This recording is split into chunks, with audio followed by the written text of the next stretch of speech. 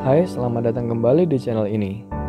Setelah sekian lama kita membahas tentang bagaimana cara bekerja di pertambangan, sekarang dalam video ini saya akan membahas pendapat orang-orang sekitar tentang dunia pertambangan. Nah, tema video ini adalah berkat ide atau komen dari salah satu teman saya, yaitu Laila FNR. Link YouTube dia aku taruh di bawah ya. Baik, tentu saja saya tidak akan sendiri. Akan ada tamu yang kita wawancara. Tamu ini merupakan istri dari karyawan tambang. Nah, siapakah dia? Sebelum kita mulai, kita lihat dulu yang satu ini.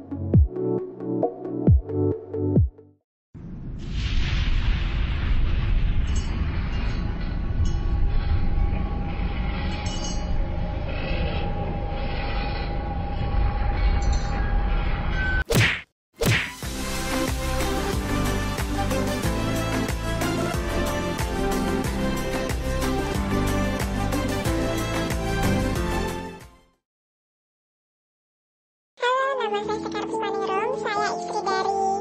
Ini apaan sih? Kok kayak gini? Kayak investigasi bakso burak aja. Halo, nama saya Sekar Puspaningrum. Saya adalah istri dari Bapak Susilo Edi Widihanto.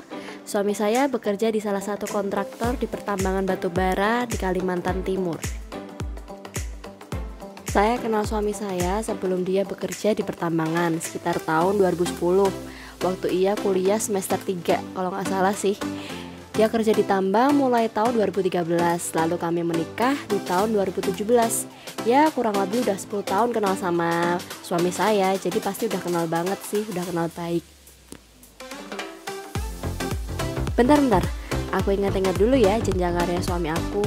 Hmm, 2013 dia fresh graduate sebagai group leader di drilling blasting uh, setelah itu di 2014 uh, sebagai group leader di departemen drilling blasting disusul lagi 2019 uh, suami saya jadi section head di drilling blasting setauku itu sih. Suami saya bekerja di bagian pengeboran dan peledakan. Semoga selalu sehat ya sayang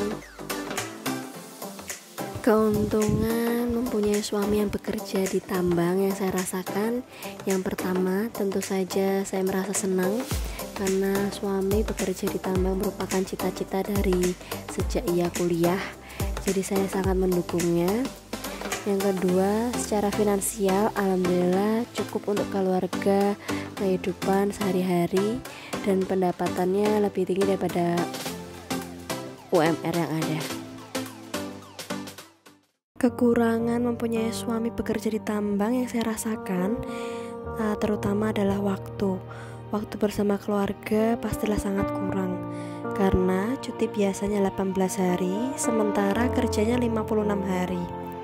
Apabila sekarang lagi pandemi seperti saat ini dengan protokol yang diterapkan, hari tidak bertemu pastilah lebih banyak karena 56 hari ditambah dengan masa karantina di tempat asal kemudian ditambah karantina di dua kota yaitu Balikpapan dengan Puntang uh, yaitu mesnya.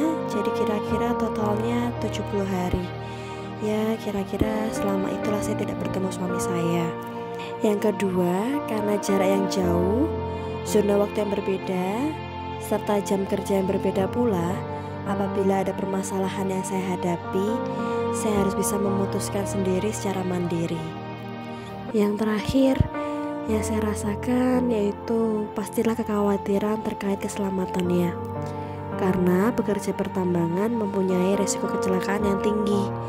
Terlebih lagi, suami saya bekerja di bagian drilling busting yang jelas mempunyai resiko yang sangat besar. Itu aja sih yang saya rasakan. Semoga suami saya selalu sehat, selamat, dan Hati-hati ya sayang, semangat.